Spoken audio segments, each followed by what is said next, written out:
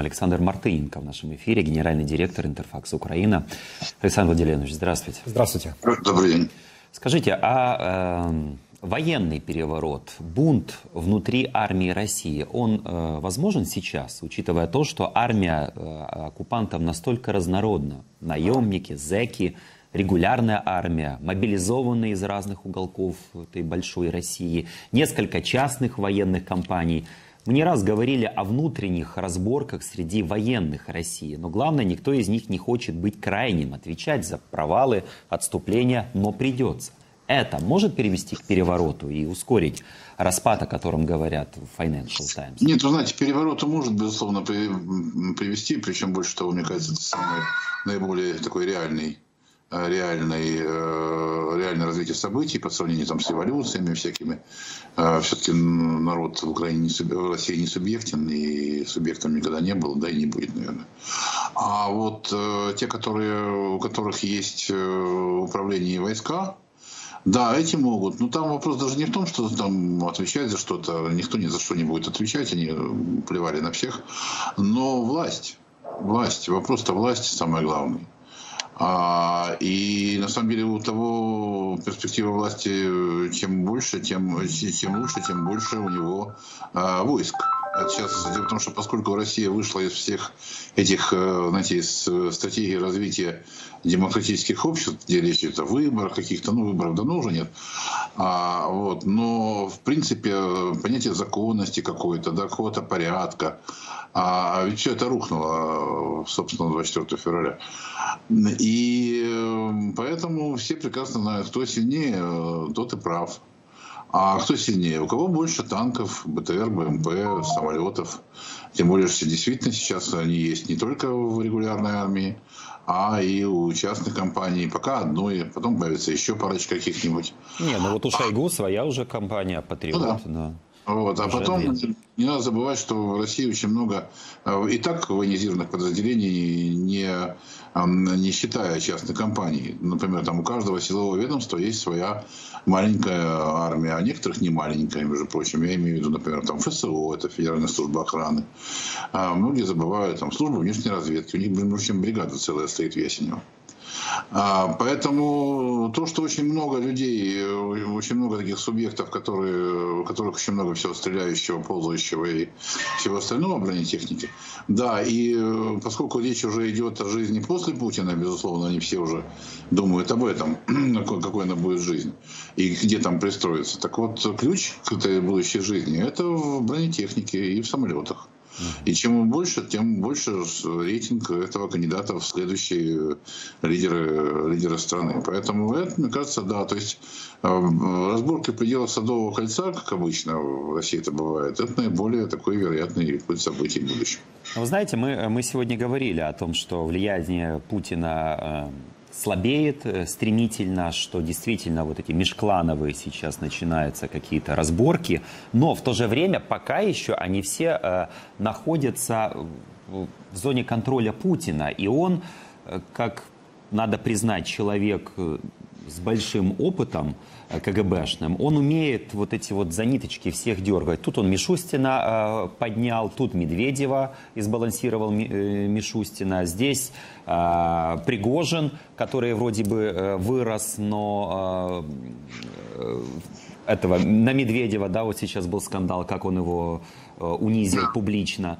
Вот. Эм, ну, потом э, пригожинцы с Шойгу. Шойгу теперь конкурирует с Пригожиным. Но так или иначе, они все вот под этим вот э, кремлевским ковром э, Путина, да, контролируют. Когда, когда они могут, вот что должно стать вот этим спуском послужит, чтобы кто-то действительно позволил себе гораздо больше, чем ему прописал Путин в этой пьесе? Нет, вы знаете, вот создание всех этих негосударственных армий, это на самом деле путь, конечно, к развалу государства. Это четко надо понимать, это не, не мы придумали, это давно уже известно. Как только появляются э, всякие такие разные непонятные вооруженные формирования, все государство как таковое, оно, оно исчезает. Э, вот. И это просто естественный ход событий, потому что в один прекрасный момент человек поймет, господи, его там разводит кто-то, какой-то Путин, там, зачем он нужен для развода, когда у него есть там 1100 солдат, э, там 200-300 танков и, и БМП. Он может спокойно взять эту власть. Или неспокойно, или в боях с кем-то другим. Но, тем не менее, это, это приз, это власть. А власть в России, как известно, она находится в пределах Садового кольца. Все. Вся остальная, вся остальная страна просто наблюдает за тем, что там происходит. Поскольку никакой, никакой регион уже не субъектны, давно уже, да, люди не субъектны, поскольку они э, опущены до уровня населения. Поэтому кто в Кремль зайдет или заедет на танке Т-72, тот и царь. Вот, поэтому это же очень большой соблазн, понимаете, когда у вас э, все это есть, а тут, если сидит кто-то, кто туда разводит, сюда разводит, у которого на самом деле лично у него-то ничего нету. Он-то всем, я имею в виду Путина, он, он всеми этими вооруженными силами управляет через посредников. Ну, посредника, я имею в виду Шойгу, там где-то где Герасимов, Суровикин, Пригожин, э, Нарышкин и, и так далее. А лично у него-то ничего нет. Он просто человек, ну там охрана имеется в виду, да, пару тысяч, или сколько там у него. Вот. Это то, чем он реально управляет. А все остальные это уже через, э, через людей. Так вот, когда эти люди поймут, что на самом деле это они управляют, ну, Пригожина проще всего, потому что он действительно нанял всех зэков лично. Вот. Э, что это они, у них эта сила есть, а не у него. Вот с этого момента и начнется.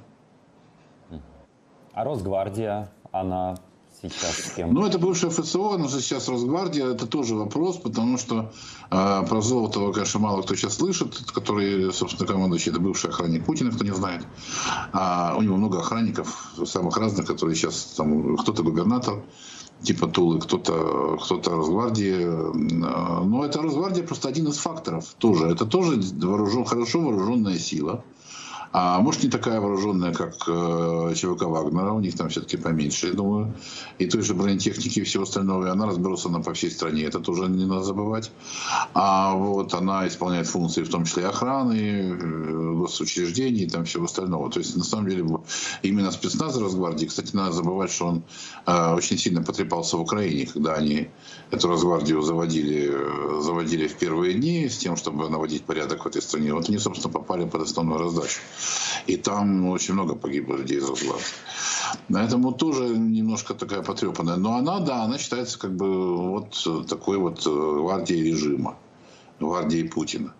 А так оно или нет, Бог его знает. Потому что, знаете, э, малейшая слабость еще просто им нужно э, рано или поздно все они поймут, что, ребят, это у нас войска, это мы ими командуем.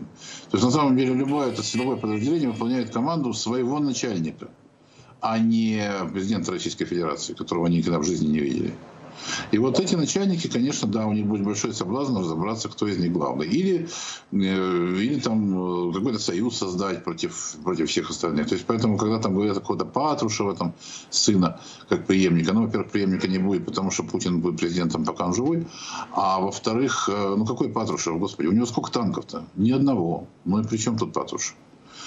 То есть все, страна перешла в, Россия перешла в такой вот режим режим, ну, если хотите, гуляй поле, то есть, на самом деле, поскольку действительно законы не работают, ничего не работает, э, кругом одна ложь, а, то все то есть, имеет, э, имеет э, значение только фактор силы. Ну вот и все. И а, вот... а скажите, а как бы вы э, трактовали вот эту вот картинку э, «Одинокий Путин» э, в соборе Кремля, там то ли молился, то ли думал о чем-то, то ли просто молчал э, на Рождество? Как-то всегда не один он был, да? А теперь один. Это сигнал кому и какой? Ну, это на самом деле, знаете, э, странно, потому что мне самому было смотреть на это. Ага потому что все эти э, огромные э, количество технологов и пиарщиков, которые там болтаются вокруг Кремля, которые там работают, и налаживают картинку ему все. То есть, ну, у меня создалось впечатление, что, знаете, когда ему предлагали эту историю, он-то сам ни черта не понимает в этом, как он выглядит, должен, там, как это будет.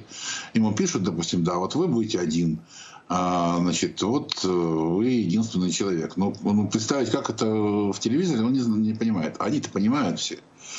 И э, вот эта э, демонстрация на весь, на всю страну одиночества, А у меня, знаете, у меня возникает впечатление, что эти все телевизионщики, которые там болтаются вокруг, вокруг Кремля, они уже втихаря ему там гадости строят э, Путину. Я вот... Это сюда же можно и вот эти вот перстни, да, подаренные, мы тоже обсуждали эту тему. Ну, перстни это вообще, да, это бред, но я вот... Э, но это тоже пиарщики, да, которые... Помню, там еще 9 мая, когда был парад, был такой, такой случай, когда когда он, а, ну, камера его там сопровождала после парада, он там гулял везде, там пришел на могилу неизвестного солдата, а потом камера взяла его, а, его э, кадр со спины, и он уходил.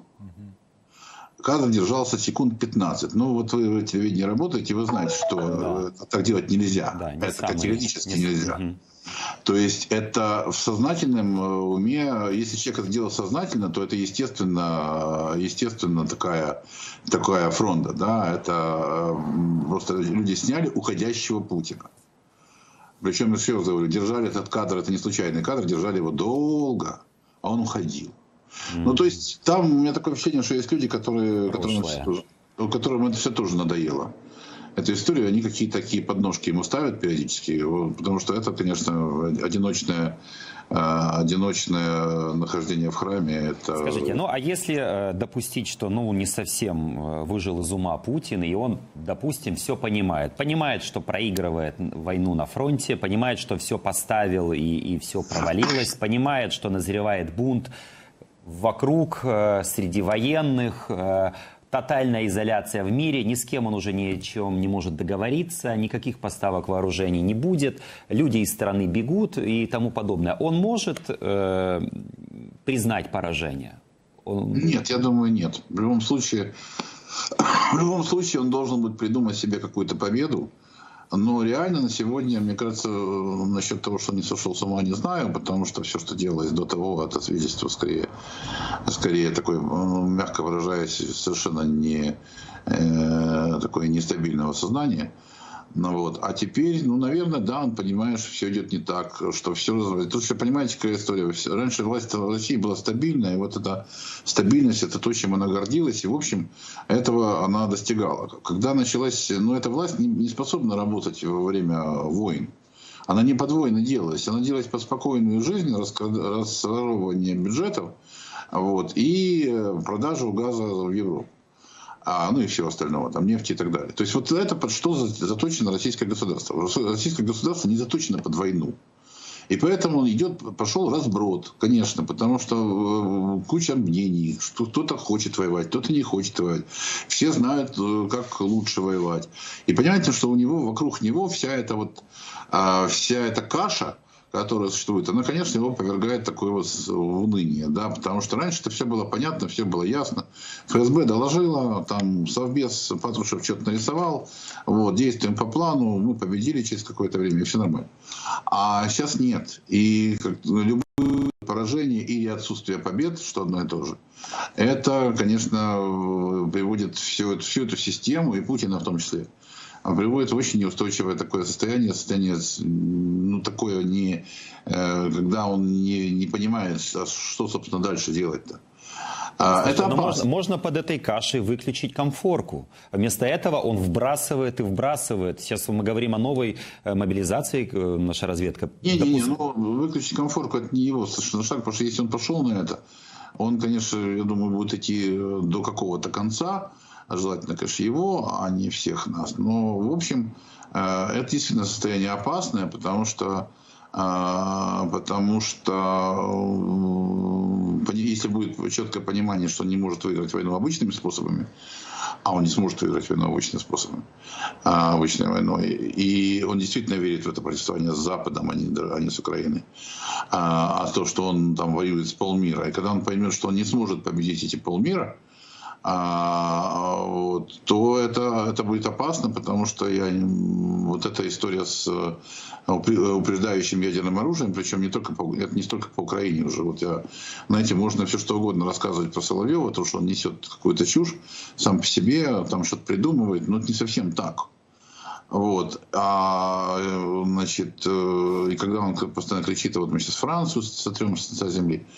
Еще раз говорю, это не совсем так, потому что основные, основные месседжи все-таки согласовываются еще пока, насколько я знаю. А тут еще в ряде телеграм-каналов, причем которые близки к ФСБ, а буквально там позавчера появился текст э, по поводу того, что все, кто помогает Украине оружием, они считаются участником конфликта, и, и поскольку они поставляют, они действительно испугались, действительно поставляют много, и этот последний транш, конечно, их очень здорово ударил по ним, по сознанию. Вот. Так вот, э, надо нанести превентивный, не превентивный, а именно ядерный удар тактическим ядерным оружием по этим странам, которые помогают. Ну, но здесь, наверное, должен включиться инстинкт самосохранения вот у этих э, людей, которые уже думают о жизни в России после Путина. Те же кланы, те же э, вооруженные формирования, тот же Пригожин, который который, наверное, не готов умирать. Вот как раз у него все, наверное, хорошо. Да, вы знаете, это все хорошо, Они... да, только, только вопрос в том, что, собственно, кнопку, вот эту вот э, ядерную тактическую оружие, нажимают не все вместе. А, то есть Пригожину, может, и хотелось бы пожить дальше. Только иногда не все от него зависит. Скажут помирать, придется помирать. Вот. Ну я к чему? Я просто тому, что вот э, это понятно, что они пугают Запад, все это понятно, что они, что сейчас это, это, кстати, будет продолжаться, сейчас эти пугалки будут, будут все больше и больше, что вот мы сейчас ударим там по Парижу, по Берлину, по Варшаве, там еще куда-то.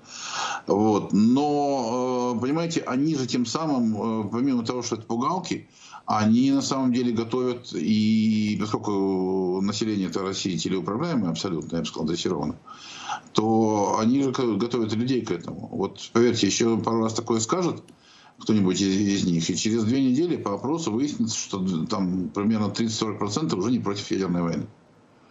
А автократическая власть, она зависима от точки зрения населения. Поэтому э, хотелось бы, конечно, чтобы на пути вот этой э, от кнопки до, собственно, ракеты оказались люди, которые, которым хочется пожить еще, а не, а не умирать ради Родины, как было сказано. Кстати, напоминаю этот культ смерти, который у них в последнее время там появился. Кто-то придумал эту, эту ересь по поводу того, что надо бы умереть за Родину. Это вообще лучше, чем жить, жить бесполезно.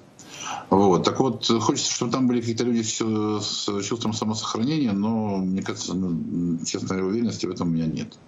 И вот это, это действительно реальная проблема, потому что выиграть он так действительно не может. Он может, ему, конечно, желательно, чтобы кто-то нарисовал, э, нарисовал то, что он там уже победил, там, он что-то там захватил, там, он неважно что. Ну вот они, что... вероятно, к годовщине войны э, будут намереваться всеми правдами, неправдами, силами, людьми что-нибудь, да, попытаться захватить. Судя Они, по... да, знаете, эти все даты, мы уже неоднократно с этим э, ошибались, эти даты, годовщины, они сейчас не имеют значения, потому что э, есть проблемы, которые надо решить. Это, собственно, вот война, которая не получается. А какой это дате, это уже не... Была бы возможность, они бы давно это уже сделали. Понимаете, не ждали бы никакой даты. Но возможности такой нет. И действительно не получается. Дальше собирать еще там полмиллиона, миллион, два миллиона, три миллиона. Но если армия не может, как мы видим, переварить вот эту первую волну, а, чем мобиков, э, переварить, имеется в виду, интегрировать их в российскую армию, которая была до того, и сделать их боеспособными подразделениями, потому что они так и остаются такими отдельно взятыми отрядами, ну, вот, то что, что, что, что говорить о, о полмиллиона и миллионе?